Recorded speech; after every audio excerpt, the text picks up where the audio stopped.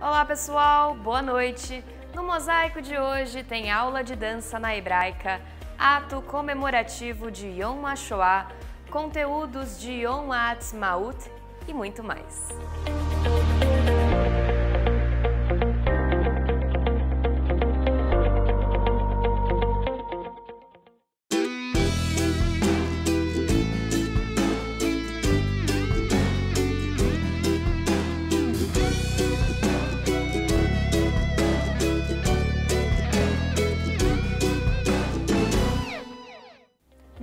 Ao programa Há Mais Tempo no Ar na TV Brasileira. E num oferecimento do Hospital Albert Einstein, vamos às notícias da semana com Rony Gottschalk. Rony, é com você.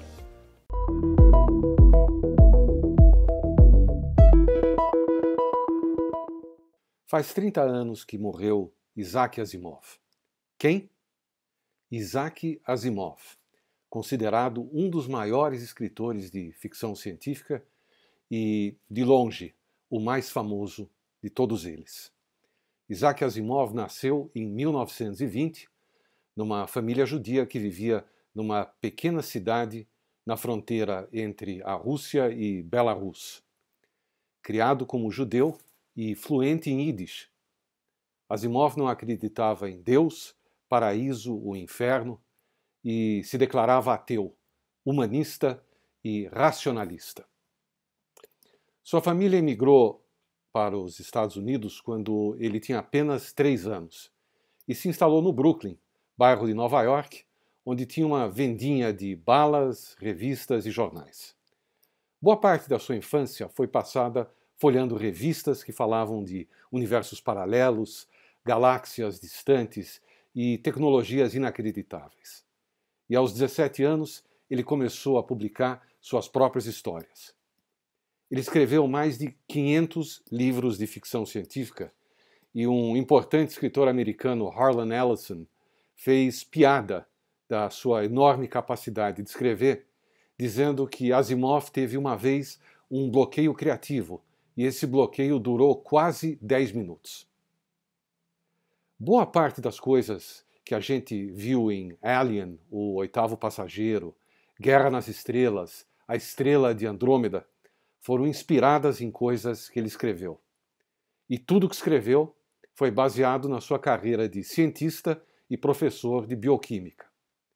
E seu legado é tão importante que um asteroide e uma cratera em Marte foram batizados com o seu nome.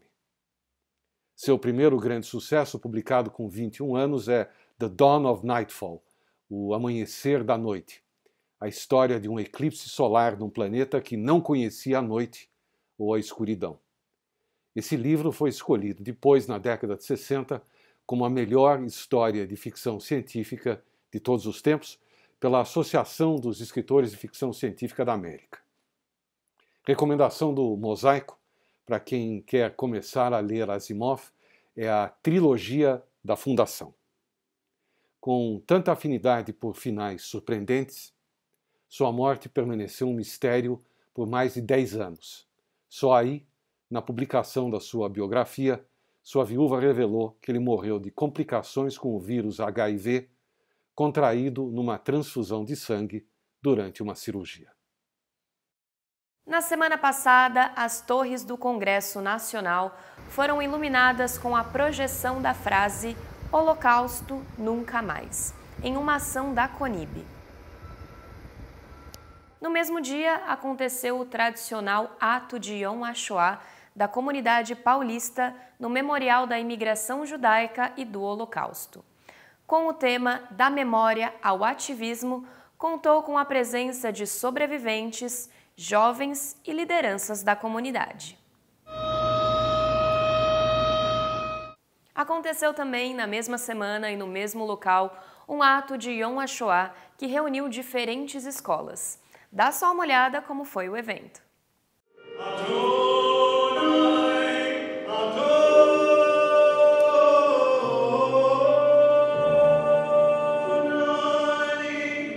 Estamos no Memorial da Imigração Judaica e do Holocausto para acompanhar o ato de Yom HaShoah.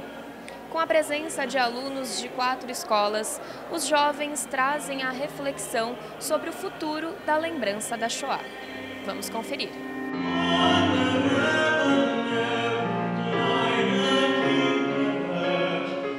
Yom HaShoah, uma celebração que estamos fazendo em Israel, não é um evento internacional como o Dia de Lembrança do Holocausto, 27 de janeiro.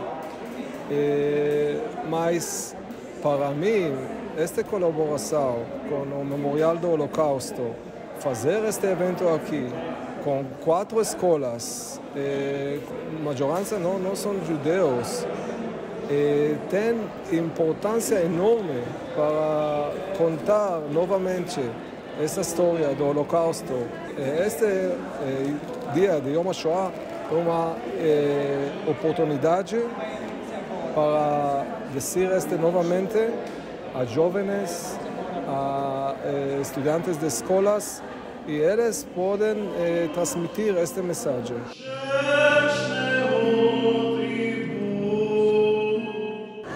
Ainda hoje existe pessoa se vê as coisas na televisão fala que é montagem, que isso só de um produtor.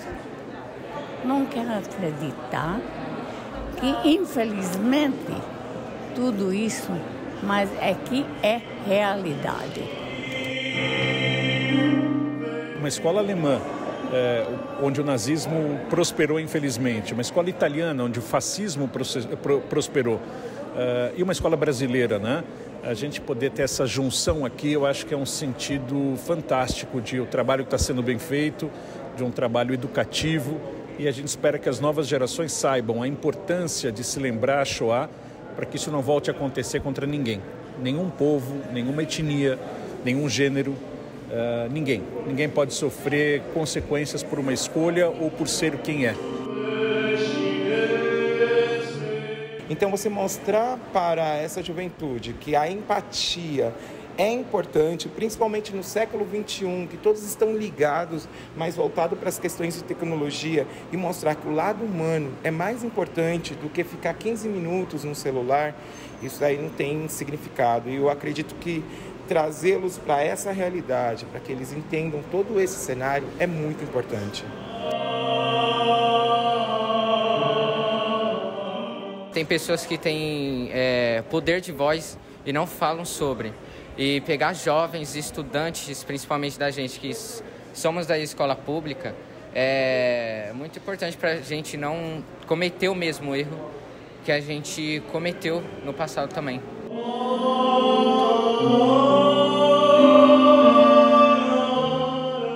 Recebe aqui muitas escolas, não judaicas principalmente, Muitos alunos vêm aqui e não têm nem ideia, muitas vezes, do que, nem é, do que, que é um judeu, porque até hoje em dia existem núcleos neonazistas e pessoas que propagam o antissemitismo e outras formas de discriminação. Então, quanto mais a gente falar, menos esse tema vai ser banalizado e menos essa memória vai ser perdida.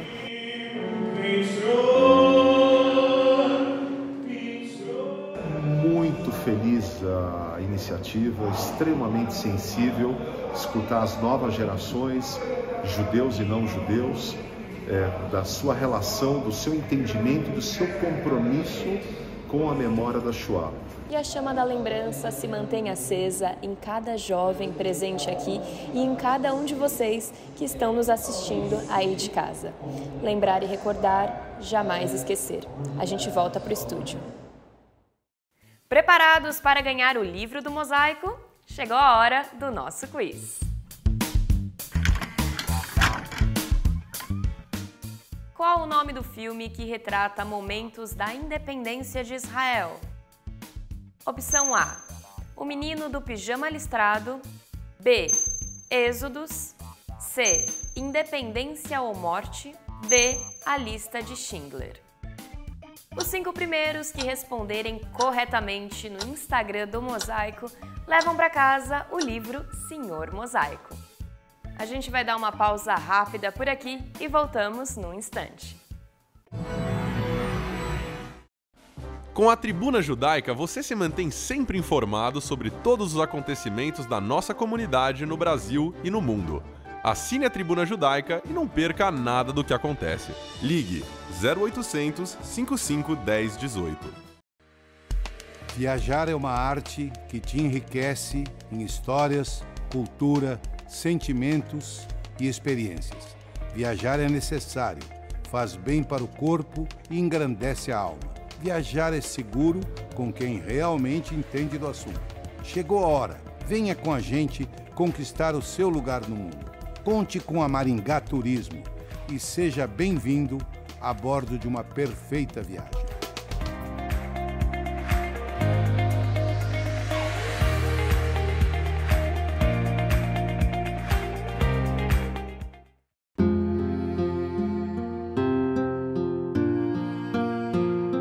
O judaísmo tem regras e costumes para se despedir de um ente querido. E para cumpri-los, contamos com profissionais e voluntários. Nós nos orgulhamos muito deles, dos profissionais que compreendem que seu dia a dia é diferente e especial, e dos voluntários, cujo único pagamento é a certeza de estar colaborando com nossas famílias. Hevra Kadisha, mantendo acesa a chama da comunidade. Vamos direto para a Hebraica acompanhar uma aula de dança bem divertida. Dá só uma olhada. Salve, salve todos os amigos e amigas do Mosaico. Se eu falar para vocês que esse salão aqui que eu tô agora, vazio, há poucos minutos atrás estava lotado de muita dança, amizade e descontração, não acredita? Eu mostro para vocês, porque ó, camisa tá suada, aula de dança a mil por hora. Você confere tudo isso agora no Mosaico. Volta no tempo.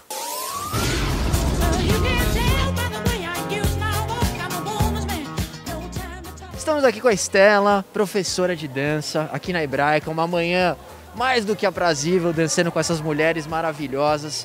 Para quem não conhece, está em casa assistindo, vocês se reúnem aqui uma vez por semana, é isso? Isso, toda terça-feira de manhã a gente está aqui para um momento assim de muito prazer, que é uma aula de ritmos para melhor idade. Né? Então essa aula ela é a prova que todo mundo que tem vontade de dançar pode dançar. As pessoas perguntam, mas será que eu consigo? E assim, eu não tenho a mínima dúvida que seja qual tipo de dança for, você só precisa uma coisa que é querer. Eu comecei a dançar com a, com a Estela há mais de 20 anos. Depois houve várias mudanças de, de professoras, etc. E ela felizmente retornou para dar aula para gente.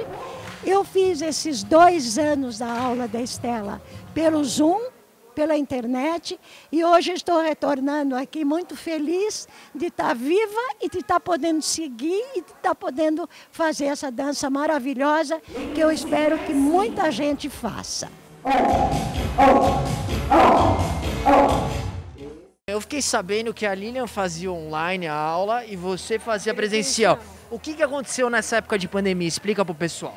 Eh, de início, eh, a Estela começou a dar as aulas online.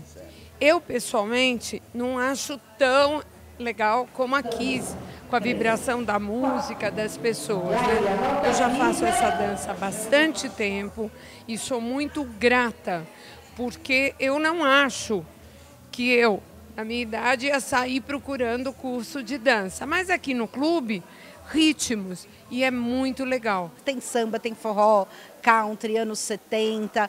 A ideia é exatamente fazer com que as pessoas experimentem de tudo, né? E permitam que o seu corpo, que sua mente experimentem coisas novas também, né? Um, dois, três, bata o braço. Um, dois, três. E é nítido o bem-estar, a felicidade delas de voltarem, de se exercitarem, de trabalhar é, concentração, ritmo. É, dá para ver que elas estão bem felizes.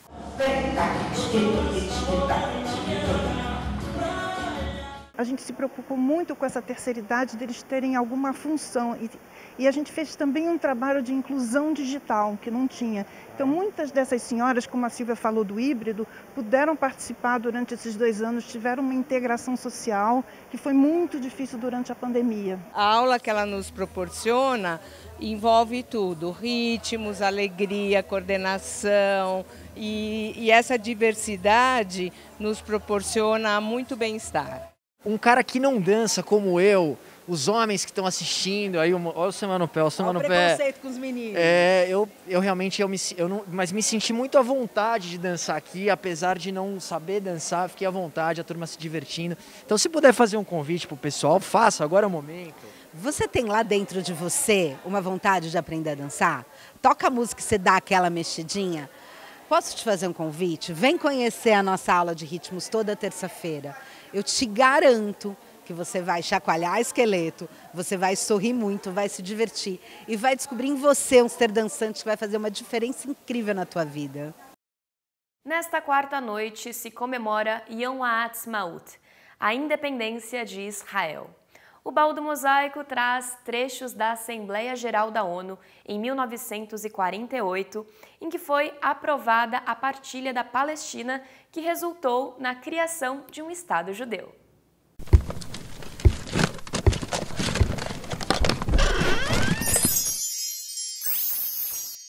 Vamos, pois, proceder à votação. Os senhores sabem como votar. Os que são a favor dirão yes. Aqueles que são contra dirão no. E os que se abstêm provavelmente sabem o que dizer. Afghanistan, no. Argentina, Belgium, yes.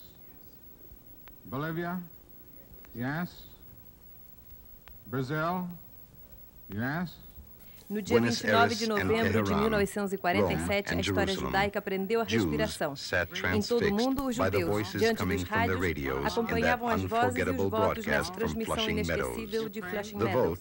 O voto e o próprio exílio estavam em jogo, talvez por apenas mais alguns minutos.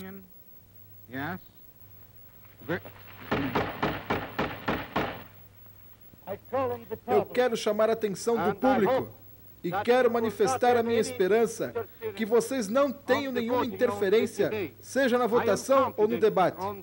Eu tenho fé que os senhores permaneçam atentos e sentados, porque eu quero deixar claro que não permitirei a ninguém interferir nessa votação.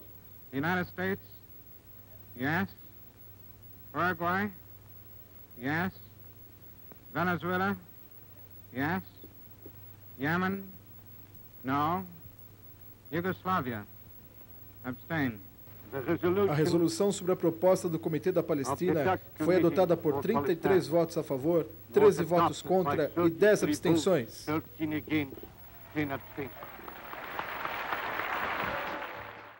Mais uma pausa rápida, voltamos em um minuto. Quem sabe cuidar bem do seu dinheiro sabe que não é qualquer conta que ajuda você a cuidar bem de tudo. Cuidado assim com tudo mesmo é no Safra. Aqui você vai da melhor seleção de investimentos a financiamento de veículos. Vai de cartão de crédito a crédito automático na conta. Vai de seguro viagem a transferência via Pix. Isso aqui é uma conta, hein? Coisa de especialista, né? Quem sabe, sabe. Abra sua conta pelo app. Quem sabe, Safra.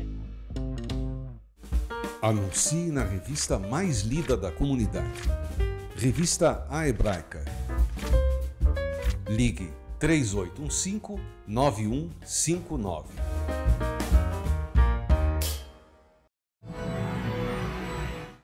Opa que tem receita especial de Yom Ha'atzmaut na nossa cozinha da Ida Chamame. Chefe Breno, é com você. Oi, Chamame! Oi, nós aqui outra vez!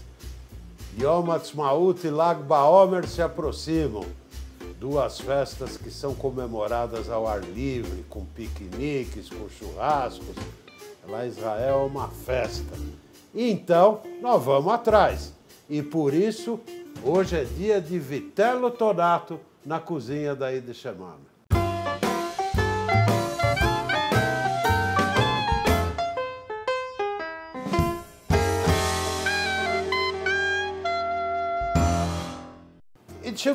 O Vitello Tonato é uma invenção italiana da região da Toscana e, como o nome diz, era feito com vitelo. Aliás, foram os italianos que ensinaram o mundo a usar o boizinho de seis meses, a usar a carne dele, que a gente aqui conhece como vitelo. É uma carne muito difícil de achar e muito cara. Então, se você quiser substituir pelo lagarto, pode substituir O efeito vai, não, não é exatamente o mesmo gosto, mas o efeito é o mesmo. E nós vamos preparar esse prato que você serve frio, como entrada, como aperitivo ou numa boa festa de Lag Baomer ou Yom.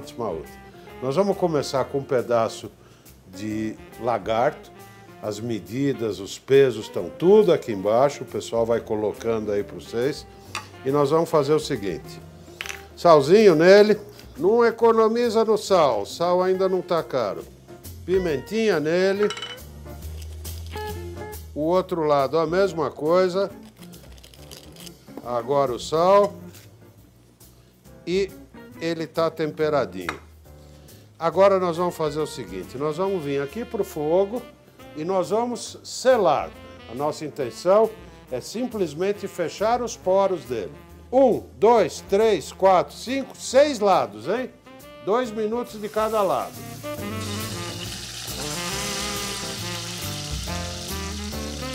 O nosso objetivo aqui é fechar a carne para que ela não perca muitos sucos durante o próximo processo, que será este. Nós vamos pegar uma assadeira, vamos pôr o salsão picado, as quantidades estão aparecendo aí para vocês alho poró picado, cebola picada. Vamos dar uma misturadinha. Sal. Pimentinha do reino. Vamos pegar e pôr vinho branco.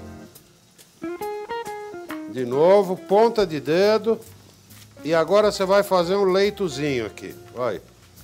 Suco de limão. E agora nós vamos vir com a nossa carninha. E ela vem aqui em cima. Mentira, Breno, acorda. Atum. Uma latinha de atum. Ela vai por baixo da carne.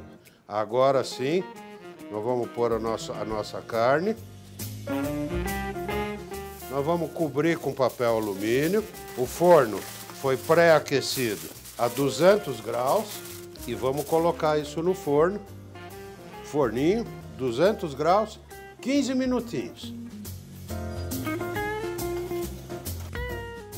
Vamos ver como é que está o nosso assado especial, o nosso vitelo, ou no caso, o nosso lagarto. Gente, só pelo cheirinho já dá para perceber que ele está no ponto. Vamos abrir? Olha que coisa linda! Uau! Essa carne, nós temos que fatiar ela fininha. Eu vou pôr ela nesse prato aqui, para ela descansar, nunca se fatia a carne quente. E todos esses legumes aqui vão vir para o mixer. Junto com o atum e mais umas coisinhas que eu vou falar para vocês já já. Muito restaurante por aí acha que o molho tonato é uma maionese com atum. Errado! Tem que ser desse jeito aqui. Agora nós vamos pôr o restinho e vamos colocar também as anchovinhas e dois terços das alcaparras. De novo, as quantidades. A turma do mosaico está mostrando tudo para vocês. Aqui não se esconde nada. Vamos bater? Tapa os ouvidos aí, de chamame.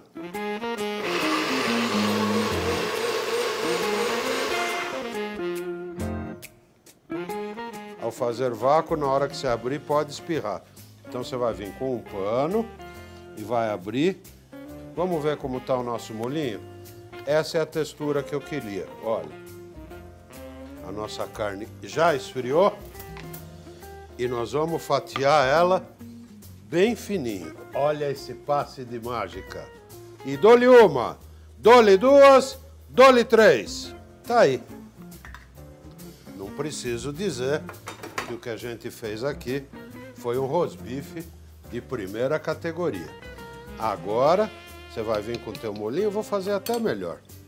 Ó, começa sempre do meio, que você consegue avaliar o que está acontecendo. Vamos alisar? A ideia é que a carne fique bem coberta por esse molho. Agora, salsinha picada, as alcaparrinhas, aquele terço das alcaparras que a gente guardou. Nós vamos enfeitando aqui. E por último, uma polvilhadinha de páprica, menos pelo sabor e mais pela cor. Uma noite na geladeira, isso fica bom. Uma noite e uma manhã na geladeira, isso fica ótimo. E aí é servir e correr pro abraço.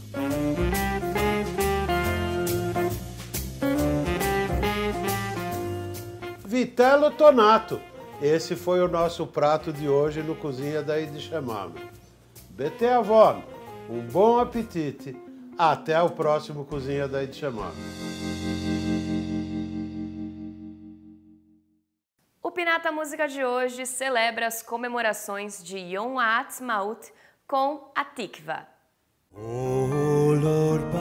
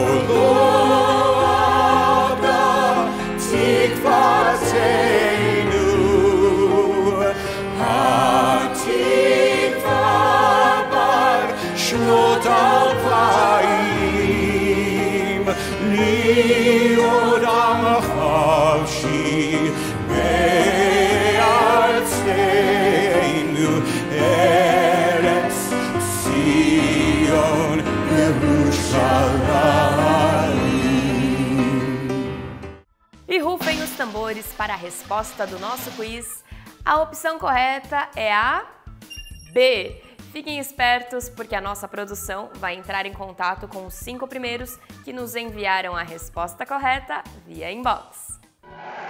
Depois da Segunda Guerra Mundial, Harry Ben Cannon quer levar o máximo possível de judeus para a Palestina, para influenciar a decisão da ONU de criar um Estado judeu. É sempre bom lembrar que toda terça, às 8 da noite, tem mosaico no Facebook da Hebraica e da FISESP. Não percam! E sigam o Mosaico nas redes Instagram, Facebook e YouTube. Na próxima sexta, o acendimento das velas acontece às 17 horas e 17. E o Kabbalat Shabbat do Beitel, Rua Caçapava 105, acontece de forma virtual e também presencial mediante inscrição. Se cuidem, até o próximo programa. Shalom Mosaico!